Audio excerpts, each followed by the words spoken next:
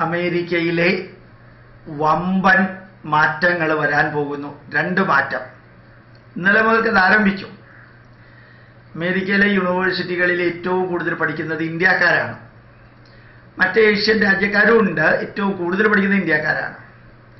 American യൂണിവേഴ്സിറ്റികളിൽ ഇപ്പോൾ നടക്കുന്നത് ഡയറക്റ്റ് ക്ലാസ്സുകളല്ല. യൂണിവേഴ്സിറ്റി ക്ലാസ്സുകളല്ല. ഓൺലൈൻ ക്ലാസ്സുകളാണ് നടക്കുന്നത്. ഓൺലൈൻ ക്ലാസ്സുകൾ നടക്കുന്നു എന്ന കാരണത്താൽ വിദേശത്ത് നിന്ന് വന്ന് അമേരിക്കൻ യൂണിവേഴ്സിറ്റികളിൽ പഠിക്കുന്ന വിദ്യാർത്ഥികളോട് എല്ലാവരോടും അമേരിക്കൻ ഗവൺമെന്റ് തിരിച്ചു പോകാനായിട്ട് ഇൻസ്ട്രക്ഷൻ കൊടുത്തിരിക്കുകയാണ്. യൂണിവേഴ്സിറ്റികളിലല്ലല്ലോ പഠിക്കുന്നേ? ഓൺലൈനായിട്ടല്ലേ പഠിക്കുന്നേ? നിങ്ങളവിടെ പഠിക്കുന്നത് കൊണ്ട് അമേരിക്കയ്ക്ക് ഒരു പ്രയോജനവും ഇല്ല. അമേരിക്കയിലെ ഒരു പ്രോജക്റ്റും നിങ്ങൾ ഓൺലൈനായിട്ട് ചെയ്യാൻ സാധ്യതയില്ല.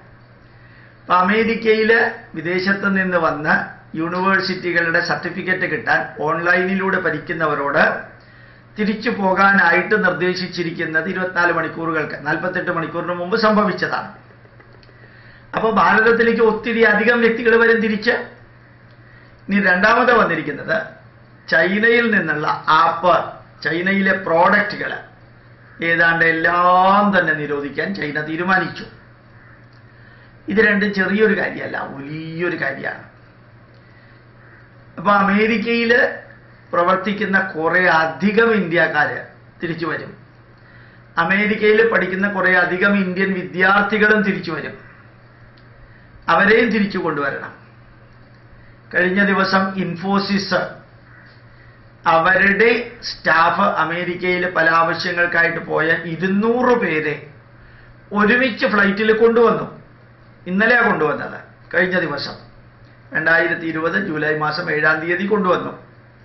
അങ്ങനെ നിങ്ങളെ ആരെയും കൊണ്ടുവരാൻ ആരും ഉണ്ടാവില്ല. ഇൻഫോസിസുകാർ കൊണ്ടുവന്ന മാതിരിയൊന്നും കൊണ്ടുവരില്ല. അതുകൊണ്ട് എങ്ങനെയാണോ കുവൈറ്റിൽ നിന്ന് എട്ട് ലക്ഷം ഇന്ത്യക്കാർ തിരിച്ചു വരേണ്ടി വരുന്നത്? എങ്ങനെയാണോ മിഡിൽ ഈസ്റ്റ് രാജ്യങ്ങളിലും സൗദി അറേബ്യയിലും അവരവരുടെ നാട്ടുകാർക്ക് പ്രാധാന്യം വരുമ്പോൾ പുറത്തുള്ളവരെ ചവിട്ടി പുറത്താക്കുന്നത്? അങ്ങനെ അമേരിക്കയിൽ ഒരിക്കലും സംഭവിക്കുന്ന വിചാരിച്ചതല്ല. പക്ഷേ അമേരിക്കയിൽ പഠിക്കുന്ന ഇന്ത്യൻ വിദ്യാർത്ഥികൾ ധാരാളം വിദ്യാർത്ഥികളുണ്ട്. കേരളത്തിലുള്ളവരാണ് ഏറ്റവും കുറവ് അവിടെ പഠിക്കുന്നത് ബാക്കി കർണാടകത്തിൽ ആന്ധ്രയിൽ നിന്നൊക്കെ പതിനായിരക്കണക്കിന് വിദ്യാർത്ഥികൾ അമേരിക്കയിൽ പഠിക്കുന്നുണ്ട്. അവർക്ക് ഫെലോഷിപ്പ് കിട്ടും സ്കോളർഷിപ്പ് കിട്ടും നല്ല ഉഗ്രൻ സർട്ടിഫിക്കറ്റ് അമേരിക്കൻ യൂണിവേഴ്സിറ്റിയിൽ പഠിച്ചതാണെന്നുള്ള സർട്ടിഫിക്കറ്റ് ഒക്കെ കിട്ടുന്നത് കൊണ്ടാണ്. അല്പസ്വല്പം സാമ്പത്തിക ഭാരമുണ്ടെങ്കിലും അവർ തുടക്കത്തിലുണ്ടെങ്കിലും പിന്നീട് ഫെലോഷിപ്പ് സ്കോളർഷിപ്പ് കൊണ്ട് അവർ പോകുന്നത്. ഏതായാലും കേരളത്തിൽ നിന്ന് പോയവരൊക്കെ നഴ്സുമാരായിട്ടാണ് അമേരിക്കയിൽ വർക്ക് ചെയ്യുന്നത്. അവർക്ക് പിന്നെ പോകേണ്ടി വരുമോ ഇല്ലയോ എന്നുള്ളതിനെ കുറിച്ചിട്ട് പ്രത്യേകിച്ച് പത്ര റിപ്പോർട്ടുകളൊന്നുമില്ല. അമേരിക്കയിൽ വരാൻ പോകുന്ന കിടിലൻ മാറ്റം ചൈനയിലെ ആപ്പുകളും ചൈനയിലെ പ്രോഡക്റ്റുകളും എല്ലാം മാറും. ഭാരതം ചൈനയിലെ ആപ്പുകളും ചൈനയിലെ എം ഒ യു ഒക്കെ മാറ്റി. ചൈന ഭാരതത്തിലെ ചില ആപ്പുകൾ മാറ്റിയെന്ന് മാത്രമല്ല അറിഞ്ഞിടത്തോളം ഫേസ് പേജ് ബാൻ ചെയ്തു യൂട്യൂബ് ബാൻ ചെയ്തു ട്വിറ്റർ ബാൻ ചെയ്തു. അതുപോലെ തന്നെ വാട്സപ്പ് ബാൻ ചെയ്തു. അത് ലോകം മുഴുവനും ജനങ്ങൾ ഉപയോഗിക്കുന്നതാണ്. അതുവരെ ബാൻ ചെയ്തു. തന്നെത്താനെ വെള്ളപ്പൊക്കം ഉണ്ടാക്കിയിട്ട് ചാവുന്ന അവസ്ഥയിലേക്ക് മാത്രമല്ല വേറെ ഏതോ ഒരു തരത്തിലുള്ള പ്ലേഗ് ആയിരത്തി അറുന്നൂറുകളിൽ ആയിരത്തി അറുന്നൂറുകളിൽ അഞ്ചാറ് വർഷം ആഫ്രിക്കൻ ജനതയുടെ എഴുപത്തഞ്ച് ശതമാനത്തിനെ കൊന്നു കൊലവിളിച്ച ഒരു പ്ലേഗ് ഒരു പ്രത്യേകതരം പ്ലേഗാണ് എന്റെ പേര് എന്റെ നാവിൽ വരണില്ല. എനിക്ക് അറിയാവുന്നൊരു പേരാണ്. ആ പ്ലേഗ് ഇപ്പൊ ചൈനയിൽ ഭയങ്കരമായിട്ട് വ്യാപിച്ചുകൊണ്ടിരിക്കുന്നു.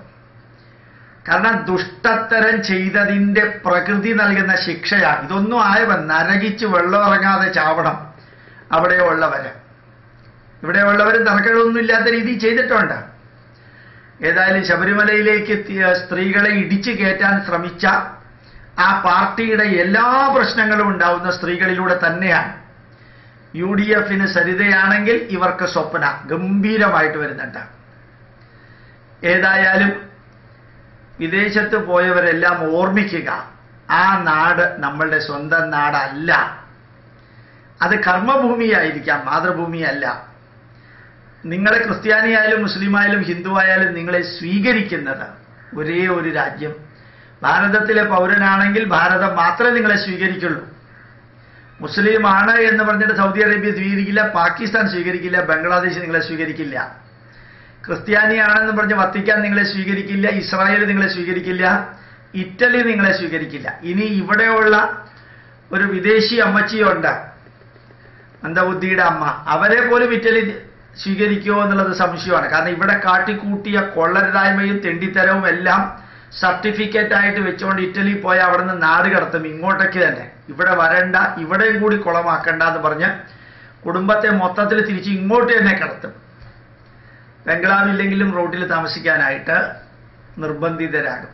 നമുക്ക് പഠിക്കാൻ പോയവരാണെങ്കിലും പ്രവർത്തിക്കാൻ പോയവരാണെങ്കിലും സിറ്റിസൺഷിപ്പ് ഉള്ളവരാണെങ്കിലും ഒരു കാര്യം ഉറപ്പാ. ആ നാട്ടിലുള്ള ജനത കഴിഞ്ഞിട്ടേ പുറത്തുനിന്ന് വന്നുള്ളവർക്ക് എന്തുമുള്ളൂ നമ്മൾ ഇംഗ്ലീഷുകാരെ ചവിട്ടി പുറത്താക്കിയ മാതിരി വിദേശികൾ എത്ര അധികം ആ നാടിന് കോൺട്രിബ്യൂട്ട് ചെയ്താലും അവർ വിദേശികളാണ് അവരെ പുറത്താക്കും. ഓർമ്മിക്കുക ഇന്നല്ലെങ്കിൽ നാളെ സ്വദേശത്തേക്ക് വരേണ്ടവരാണ് നിങ്ങൾ എന്നുള്ളത് മറക്കാതിരിക്കുക.